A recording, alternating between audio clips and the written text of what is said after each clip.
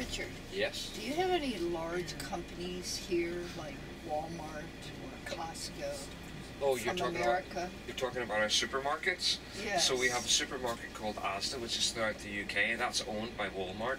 We don't have Walmart, we don't have Kmart, we don't have Target, Yeah. we don't have Best Buy, we don't have Costco. No, we don't have those No, here. no. We have equivalents. Yeah. You know, And groceries, you have Lidl or Lidl. li- little Lidl. or little or Lidl.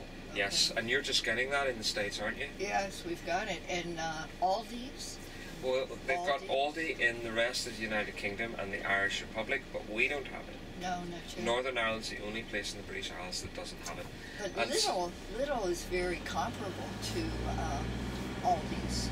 It is indeed, yes. Yeah, they're yes. very similar, I think. Yes.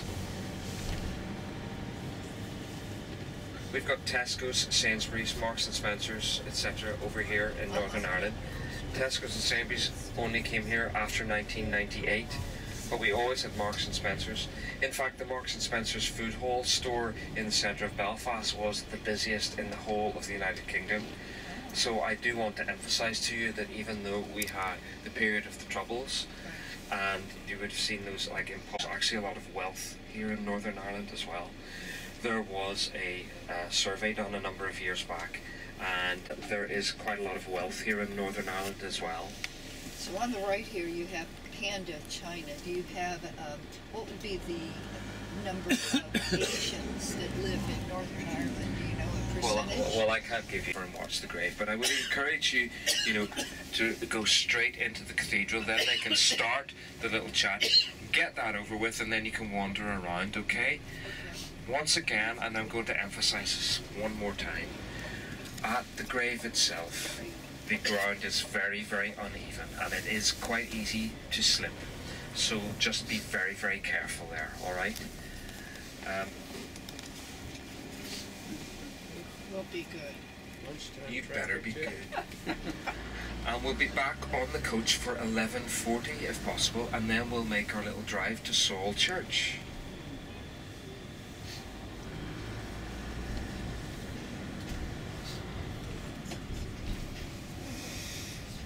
So the thing I like about St. Patrick's grave is he's one of the most famous saints throughout the entire world Yes. if this was in another country, they would have a glass case around his grave, which is fundamentally a great big slab of stone, okay? They would have a great big case around it and lights. It's not like that, it's just a slab of stone on the side of a hill. But I think it's all the better for its Yes. simplicity. Yes. And here's the other thing. Remember, I said there were some extras today, so you're going to get three saints for the price of one.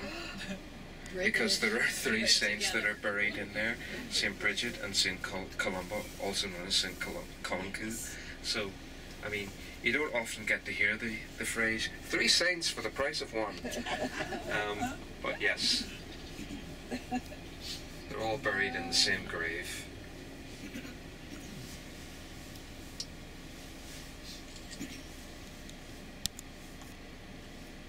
So we're just stuck in the traffic here, obviously in downtown Downpatrick.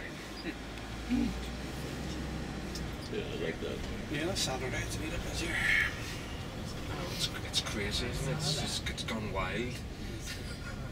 Feral, feral Downpatrick. I was coming through here two yesterday and uh, it was just I was dead. oh, Richard, Yes. Do many people, particularly the young people, smoke? No. Good.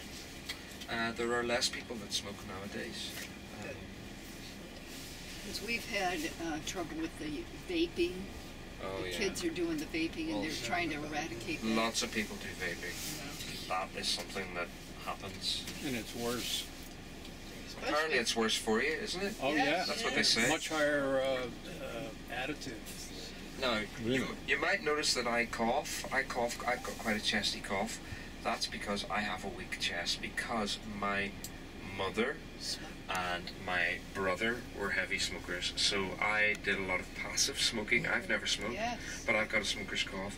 I did a lot of passive smoking whenever I was growing up. So that I get a chest infection really easy, and I have a weakness in my chest. So there you go. Yeah, we Some call people